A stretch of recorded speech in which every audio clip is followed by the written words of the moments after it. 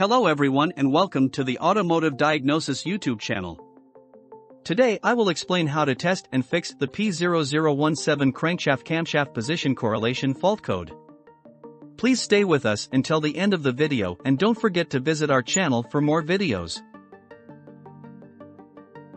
PCM monitors the engine timing misalignment while engine is fully warmed up and there is no fault code. This would happen by checking the engine timing through the crankshaft position and camshaft position sensors. P0017 will be set if PCM detects any timing misalignment on bank 1 exhaust side. Possible causes for this fault code are as follows.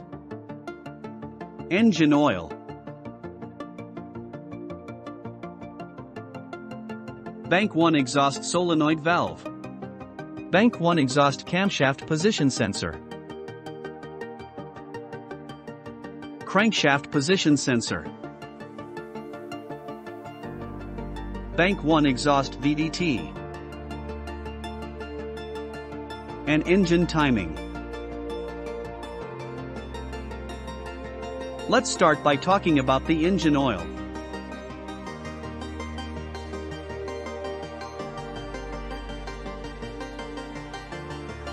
As variable valve timing works with the engine oil, it's very important to change the engine oil on time.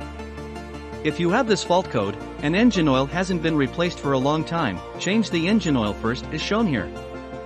After changing the engine oil, you might need to remove and clean the VVT solenoid valve too, as the oil sludge can get accumulated around the solenoid, causing the oil supply problem to the VVT.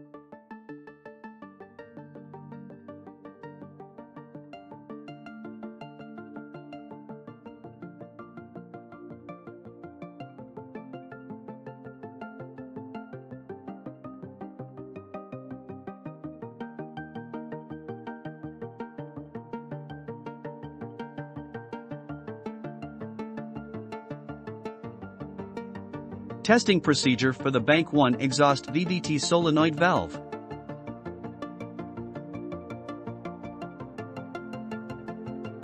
As you see here, VVT solenoid provides the engine oil to the VVT in order to advance or retard the timing. Some engines have a separate VVT oil filter, but on many others, filter is installed on the solenoid. Locate the external filter, remove and clean it thoroughly.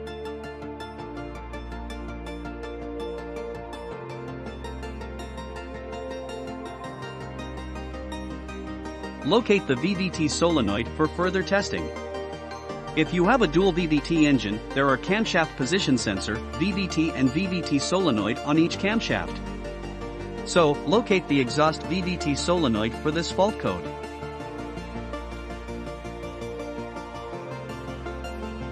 To start testing the OCV, it is very important to review OCV wiring diagram. As soon as you turn on the ignition switch, power supply will be provided to OCV via engine main relay, so you must have battery voltage on that pin when ignition is on or when engine is running. Also, OCV is controlled by PCM using the other wire, so the control line must be checked too. For testing the OCV power supply voltage, turn the ignition on when bank 1 intake OCV connector is disconnected. Then check the supply voltage using a multimeter on the relevant pin. In this test, you must measure the battery voltage on the multimeter.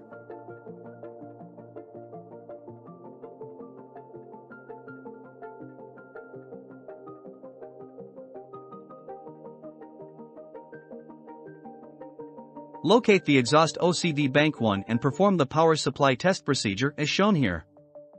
If you have the correct voltage, go to the next step.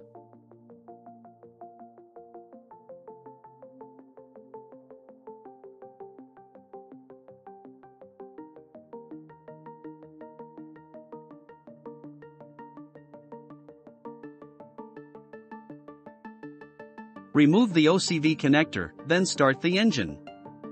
Apply battery positive and negative to OCV when engine is running, if solenoid is functioning, engine must hesitate or stalls.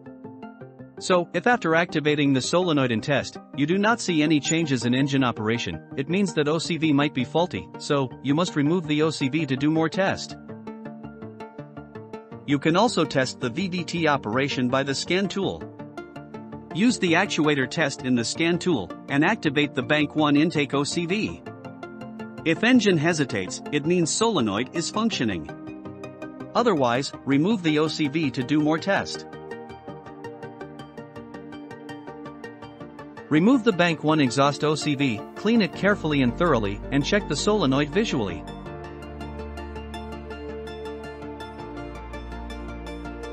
For testing the solenoid off the engine, you can perform the actuation test. So provide the battery positive and negative on the OCV, and test it as shown here. Make sure you hear the clicking sound during the actuation test.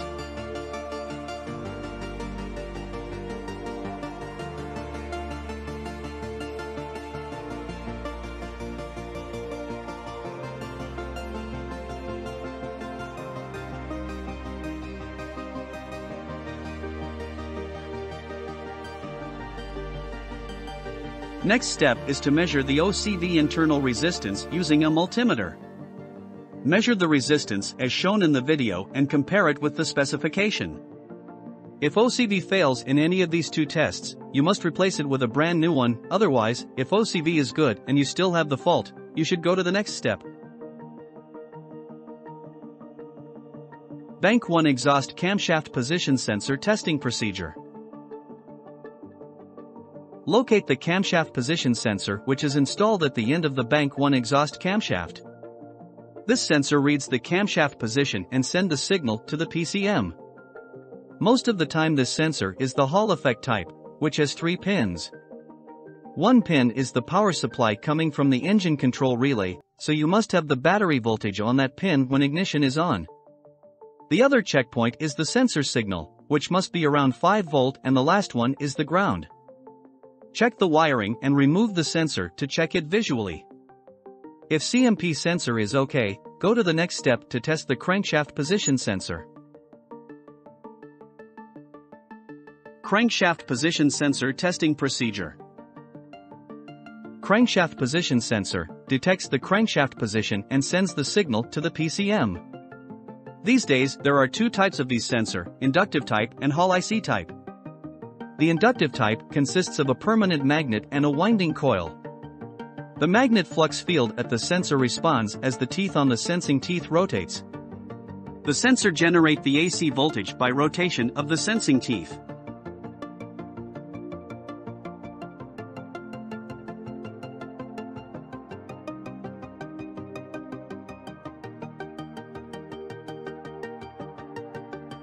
For testing the sensor, you can test the internal resistance by a multimeter and check it with the specification in the workshop manual. Here we show you the internal resistance of two different crankshaft position sensors. Replace the sensor if the resistance is different from the workshop manual.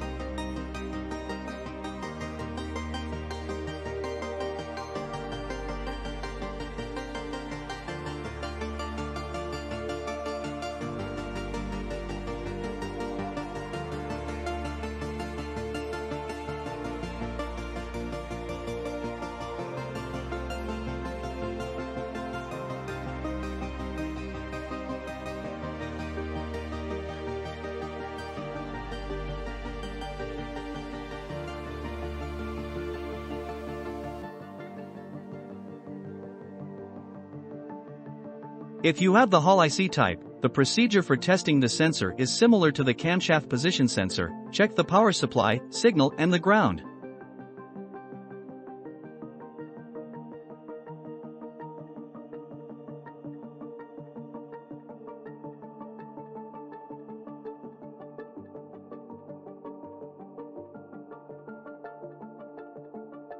If both sensors are okay, go to the next step to test the Bank 1 exhaust VVT. Testing procedure to check the Bank 1 exhaust VVT. Before removing the VVT, you can check the engine timing by an oscilloscope. So, check the crankshaft and camshaft position sensor waveform and compare that with the specification on the workshop manual.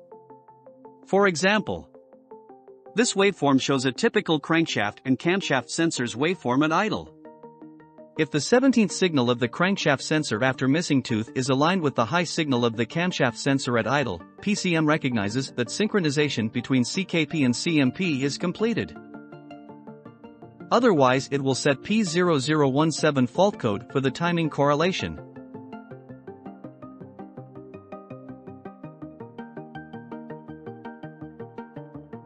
Remember that the exhaust VVT is locked at the maximum advanced when engine is off. So as soon as engine is started and warmed up, it should rotate toward the retard to adjust the timing otherwise this fault code will be set.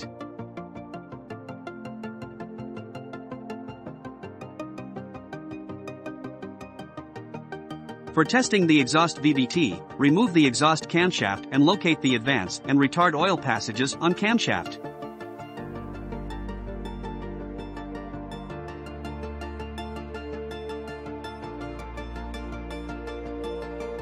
Test the exhaust VVT by providing the compressed air into the relevant oil galleries. For testing the exhaust VVT, when you provide the air into the retard oil gallery, VVT should rotate, as exhaust VVT is locked at maximum advance. Before providing the compressed air into the retard oil gallery, make sure that the VVT is locked and does not rotate. If VVT fails this test, it must be replaced. Last step is to check the engine timing.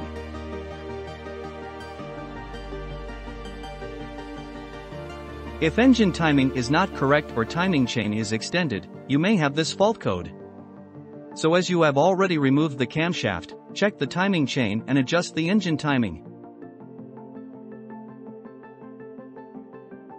Thank you for watching the video. Please do not forget to subscribe and share if you enjoyed the information provided. Please visit the channel page for many more videos like this.